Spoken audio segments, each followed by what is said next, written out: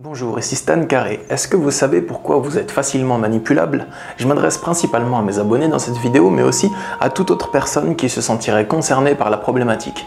Si vous êtes facilement manipulable, c'est pour deux raisons principales.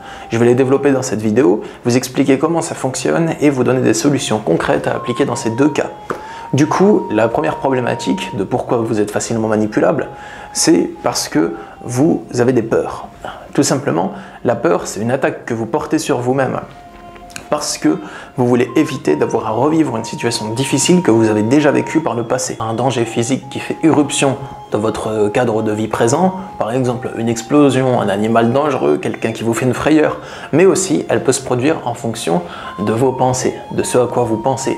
Quand vous imaginez qu'un truc terrifiant risque de vous arriver, quand vous imaginez que vous allez vous retrouver dans une situation difficile, pénible, que vous avez déjà vécue et que vous souhaitez éviter, des peurs se produisent en vous. Ces peurs, elles peuvent vous coller à la peau pendant plusieurs années, voire plusieurs décennies, voire toute une vie pour certaines personnes. Tant que vous avez ces peurs qui vous hantent, eh bien, sachez qu'elles peuvent modifier votre comportement. Quand vous avez certaines peurs, vous pouvez adopter un comportement en présence de certaines personnes pour éviter de vous trouver en présence de l'objet de votre peur. Pour vous citer un exemple, admettons que vous ayez peur de vous retrouver seul, vous ayez peur qu'on vous quitte parce que euh, vous pensez que vous allez jamais trouver quelqu'un de bien et que vous allez vous retrouver limite seul à vie si on vous quitte.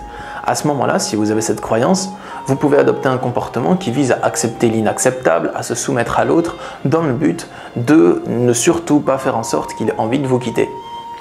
Du coup, lorsque vous avez ces peurs, ça vous influence à penser énormément.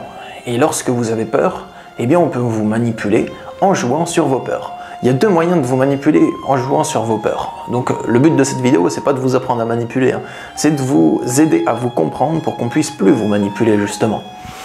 Euh, on peut vous manipuler en jouant sur vos peurs. Pour ça, il faut que quelqu'un repère ce que vous essayez de fuir et aussi ce dont vous avez besoin et ce que vous essayez de vous procurer pour fuir quelque chose.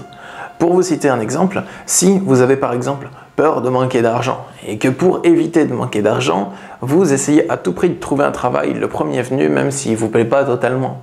Quelqu'un pourra vous manipuler en vous proposant un travail et ensuite en faisant de l'abus de pouvoir, en vous extorquant de l'argent, en vous demandant de faire des heures supplémentaires non payées et pourra vous menacer de vous mettre à la rue, de vous virer si vous ne le faites pas à ce moment, vous pourrez vous plier à lui et euh, vous plier à toutes ses exigences. À ce moment-là, la personne, elle vous manipule clairement parce que vous faites un truc que vous n'avez pas vraiment envie de faire, mais vous vous sentez obligé de le faire et vous êtes persuadé que vous êtes obligé de le faire, sinon vous allez euh, être dans le manque ou dans une situation désastreuse.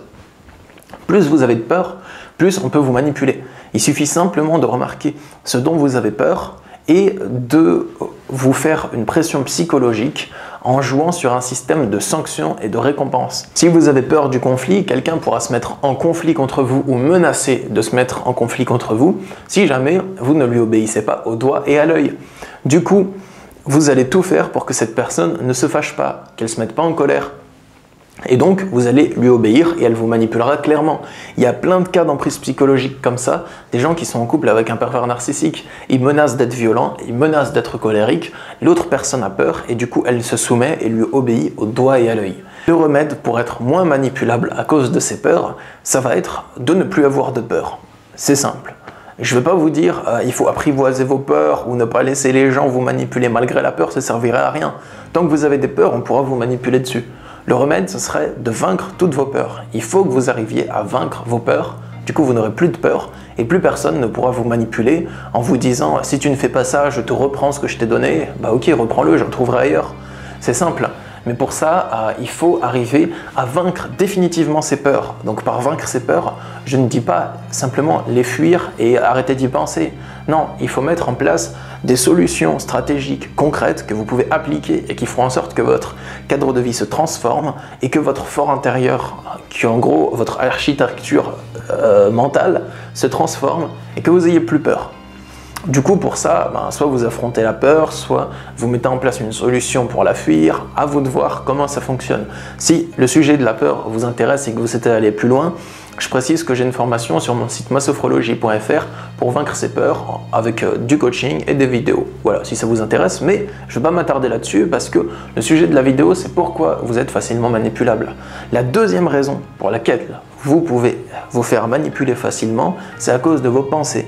C'est d'ailleurs pour ça que les personnes qui sont hypersensibles ou hyper empathiques euh, attirent souvent les manipulateurs pervers narcissiques c'est parce que ces personnes, elles ont un esprit qui fonctionne très vite, ou elles ont un, mental, euh, comme tout leur sens, hein, elles ont un mental qui est très développé, comme toute leur sensibilité, que ce soit les sens physiques, les émotions, ou tout ce qui se passe dans l'esprit. Plus vous croyez vos pensées, et plus vous laissez vos pensées donc décider de la direction que va prendre votre vie, plus on pourra vous manipuler facilement. C'est simple. Euh, ce que j'ai remarqué, ça se passait en moi, ça se passe peut-être encore un peu en moi en ce moment, mais avant, ça se passait vraiment beaucoup en moi. Et ça se passe en beaucoup de personnes que je rencontre actuellement, que ce soit en coaching ou des personnes que je rencontre dans la vie de tous les jours. Eh bien, on laisse une espèce de flot continu et incessant de pensée nous guider et nous dire ce qu'on doit faire. Quand vous laissez ce flot incessant de pensée prendre de plus en plus de place en vous, ça se fait à l'adolescence puis à l'âge adulte, eh bien vous prenez vos décisions en fonction de ce que vous devez faire, de ce que vous ne devez pas faire, de ce qui est bien ou de ce qui est mal, selon ce qu'il y a dans votre tête. Hein. Ce qui est bien ou ce qui est mal, ce que vous devez faire, ce que vous ne devez pas faire, c'est simplement ce que vous croyez. C'est des croyances, c'est pas des trucs qui existent réellement dans le monde extérieur, hein. c'est des trucs qui existent que dans votre mental. Du coup, il suffit simplement d'influencer votre euh, système de croyances, il suffit simplement d'influencer votre architecture mentale et vous allez agir en fonction de ce qui est dans votre mental. Si vous laissez vos pensées être le chef, décider de ce qui va se passer dans votre vie, il suffit simplement d'influencer vos pensées, en gros de comprendre comment vous fonctionnez, de vous dire des trucs à répétition jusqu'à ce que vous finissiez par les croire, euh, de vous faire peur sur certaines choses, et, le cours de votre pensée change. Et du coup, comme c'est vos pensées qui prennent les décisions, hein, comme vous prenez toutes vos décisions en pensant, en fonction de ce qu'il y a dans votre mental, eh bien, c'est terriblement facile de manipuler les gens qui pensent comme ça. C'est ce que j'observe dans les consultations que j'ai de coaching de beaucoup de personnes qui pensent en fonction de telle ou telle chose. Actuellement, euh, pendant des mois, pendant même des années de ma vie, j'ai toujours pensé comme ça. J'ai toujours pris mes décisions en fonction de ce qui est bien, en fonction de ce qui est mal, en fonction de ce qui doit être fait et de ce qui ne doit pas être fait. Euh, parce que euh, je, savais faire que ça, en fait. Et puis au bout d'un moment, euh, je me suis retrouvé confronté à ce qui me faisait le plus peur et à mes plus gros blocages psychologiques. Et j'ai réussi à faire sauter toutes les peurs que j'ai identifiées du moins et les blocages psychologiques que j'ai identifiés aussi. À ce moment-là, c'est comme si je m'étais libéré d'une couche de mes pensées et ça je l'ai fait simplement en affrontant ma peur et en vainquant ma peur. J'ai remarqué par cette expérience que la plupart de mes pensées, elles étaient créées par la peur. Et que du coup, c'était la peur qui faisait en sorte que je cogitais en boucle toute ma journée, toute ma vie pendant des années pour essayer de trouver des solutions à des problèmes. Mais en fait, euh, les problèmes, ils n'étaient pas si terribles que ça. J'avais juste à les affronter et à arrêter de les fuir. J'avais juste à faire ce que je me refusais de faire et qui pourrait me libérer et pourtant aller mieux. Du coup, pour ne plus être manipulable par ses pensées, c'est peut-être plus long que d'affronter ses peurs. Parce que ça veut dire que c'est votre esprit qui va se modifier tout seul. C'est une espèce de stade d'esprit que vous pouvez atteindre tout simplement. Ça consiste à remettre ses pensées en place.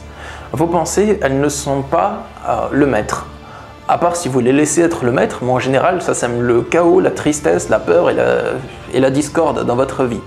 Les pensées, ce n'est pas le maître, c'est simplement un outil qui vous sert à créer des choses, à communiquer, à établir des stratégies, voilà, à vous projeter dans le futur. Mais ce n'est pas les pensées qui doivent prendre toutes les décisions. Pour moi, euh, j'ai d'abord cru que c'était les pensées qui prenaient toutes les décisions. Après, je me suis plongé dans la spiritualité et euh, j'ai adopté les croyances que, que je lisais dans les bouquins de spiritualité où on disait c'est pas les pensées qui doivent prendre toutes les décisions, c'est le cœur et l'intuition. Mais du coup, je me suis dit, et si je pense plus Ça veut dire que je vais plus prendre de décisions logiques, que je vais simplement suivre mes pulsions comme un animal, satisfaire mes pulsions, euh, satisfaire mon cœur, mais je sais pas trop comment l'écouter, c'est encore abstrait pour moi. C'est ce que je me disais. Et, euh, j'avais pas envie de sombrer là-dedans, je trouvais ça pas très logique, j'avais peur quand même. Je me disais, mais à quoi elle va ressembler ma vie si je vis au jour le jour sans aucune stratégie? Certains y arrivent, mais moi, j'ai vraiment beaucoup de mal à fonctionner comme ça. Du coup, euh, ce que je comprends maintenant, c'est que mes pensées, c'est un outil qui me sert à me construire une belle vie. Et que pour ça, il n'y a pas de maître en moi. Le maître, ça va pas être le cœur, ça va pas être mon intuition, ça va pas être ce que j'ai envie de faire, ça va pas être mes sensations physiques ni mes pensées, mais tout l'ensemble de ces choses qui forment ce que je suis doit fonctionner en harmonie pour que ça marche bien. C'est comme votre corps. Il n'y a pas de maître dans votre corps. Ok, le cerveau, il a peut-être le rôle de prendre certaines décisions, mais si le cœur ne bat pas, si la peau ne reste pas collée au corps, ben, il peut prendre ses décisions, il ne se passera rien. Si le cerveau, il prend la décision de se jeter dans le feu, ben, le corps, il marche plus après, il est fini.